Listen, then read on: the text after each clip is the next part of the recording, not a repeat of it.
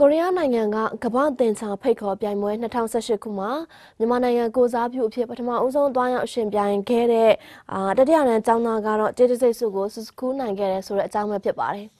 2018ခုနှစ်ဇူလိုင်လ23ရက်နေ့မှာရှင်ပြိုင်ခဲ့တဲ့ကိုရီးယားနိုင်ငံကမ္ဘာသင်္ချာဖိတ်ခေါ်ပြိုင်ပွဲမှာမြန်မာနိုင်ငံကိုစားပြုအနေနဲ့တွားရောက်ရှင်ပြိုင်ခဲ့တဲ့ကျောင်းသားတွေထဲကမှပထမဦးဆုံးအချိန်အနေနဲ့ဝင်ရောက်ရှင်ပြိုင်ခဲ့တဲ့တတိယတန်းကျောင်းသားကတော့ကျေးဇူးစိတ်စုကိုရရှိခဲ့တာလည်းဖြစ်ပါတယ်။ ဟုတ်ပါတယ်ကိုရီးယားနိုင်ငံစိုးမြို့မှာကျင်းပခဲ့တဲ့ World Mathematics Invitational Final ပြိုင်ပွဲမှာတော့ KG ဒန်းကနေတက္ကသိုလ်ဝန်ထမ်းအထိကိုတကဘာလုံးမှာရှိတဲ့အကြောင်းသားအကြောင်းသူတွေကိုဖိတ်ခေါ်ပြိုင်တဲ့ပြိုင်ပွဲလေးဖြစ်ပါတယ်။ဒီတင်ချာပြိုင်ပွဲကိုတော့မြန်မာနိုင်ငံကအကြောင်းသားအကြောင်းသူ24ယောက်ဝင်ရောက်ရှင်ပြိုင်ခဲ့တာဖြစ်ပြီးတော့ဒီတဲက3တန်းအကြောင်းသားဖြစ်တဲ့ဇဲမှန်မြတ်သူဝင်းတို့ကလည်းကျေးဇူးစိတ်စုကိုလည်းရရှိခဲ့လို့သူဖြစ်ပါတယ်။ဒါနဲ့ပတ်သက်ပြီးတော့လည်းဆုရရှိခဲ့တဲ့အကြောင်းသားတွေရဲ့ပြောကြပြောစကားတွေကိုလည်းခုလိုပဲဖွင့်ပြပေးလိုက်ရပါတယ်။ TS က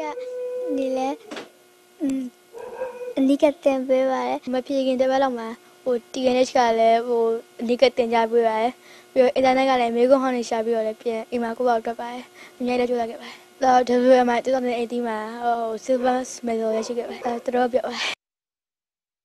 ဟုတ်ကဲ့ပါဒီမှာဆိုရင်လည်းထုနမောင်လေးပေါ့နော်မောင်ဆွဲမှန်မြတ်သူဝင်းလိုပဲဒီပြိုင်ပွဲမှာရှင်ပြိုင်ခဲ့တဲ့6တန်းကျောင်းသားတူဖြစ်တဲ့မောင်မျိုးမြင့်မြတ်သူဝင်းကလည်းငွေတစိမ့်စုကိုစုခူးနိုင်ခဲ့သူတူလည်းဖြစ်ပါတယ်ပြိုင်ပွဲမှာအခုလိုမျိုးစုတစိမ့်ကိုရရှိခဲ့တဲ့ကျောင်းသားနှစ်ဦးကတော့ပြိုင်ပွဲအတွက်ကြိုတင်ပြင်ဆင်ထားမှုတွေကိုပြောပြမှုတွေကလည်းရှိထားခဲ့တာဖြစ်ပါတယ်ကြိုတင်ပြင်ဆင်မှုတွေလည်းအာအခုလိုပဲပြင်ဆင်ဖြစ်ခဲ့တယ်ဆိုတော့တို့ကပြောထားပါသေးတယ်ပေါ့နော်ဟုတ်ကဲ့ပါသူစုတစိမ့်ရရှိခဲ့တဲ့ကျောင်းသားကျောင်းသူတွေကတော့ကိုရီးယားနိုင်ငံမှာတာရောက်ရှင်မြန်ရမှာတော့ရာသီဥတုအပြောင်းလဲနဲ့အစားအသောက်တွေကအနေငယ်အခက်အခဲရှိခဲ့တယ်လို့လည်းပြောပါရယ်။အဲဒါပြင်ဆောင်းမင်းဘက်မှာလိုအပ်တဲ့မေကွန်ဟောင်းဆောင်းမင်းဘက်အတွက်လိုအပ်တာတွေကိုလည်းမိခင်ဖြစ်တဲ့ဒေါ်ဖြိုးကြည်လက်ကလည်းပံ့ပိုးပေးခဲ့တယ်လို့လည်းသိရပါရယ်။ဒါနဲ့ပတ်သက်ပြီးတော့လည်းចောင်းသားမိဘသူရဲ့ပြောစကားတွေကိုလည်းခုလိုပဲဖွင့်ပြပေးလိုက်ပါရယ်။တူတင်ပြင်ဆင်မှုကတော့လေဟို TNH ကပို့တဲ့အနီးကပို့ချပေးတဲ့ဟာလည်းတက်ပါတယ်နောက်အမဟိုကလေ WMI ကနေပြီးတော့ အင်တာနက်ကနေလည်းမေခွန်ဟောင်းတစ်နှစ်စာပဲသူတို့ကချပေးပါတယ်အဲ့မေခွန်ဟောင်းတစ်နှစ်စာလည်းဟိုဟာလေဆရာတယောက်ဒေါက်တာအီကိုနဲ့လေ့ကျင့်ပေးပါတယ်စမတ်တော့ပြီးတော့အခက်ခဲရတော့ပထမဆုံးအမတို့ကရောက်ပြီးနောက်တစ်နေ့ဖြေရတော့လေနည်းနည်းတော့ကလေးတွေအချိန်အပြောင်းလဲနဲ့နည်းနည်းပြင်မန်းတာပေါ့အဲ့ဒါပါပဲဟုတ် လက်ရှိမှာဆိုရင်တော့ကျောင်းသားနှစ်ယောက်စလုံးကကမာရွတ် TTC ကျောင်းမှာ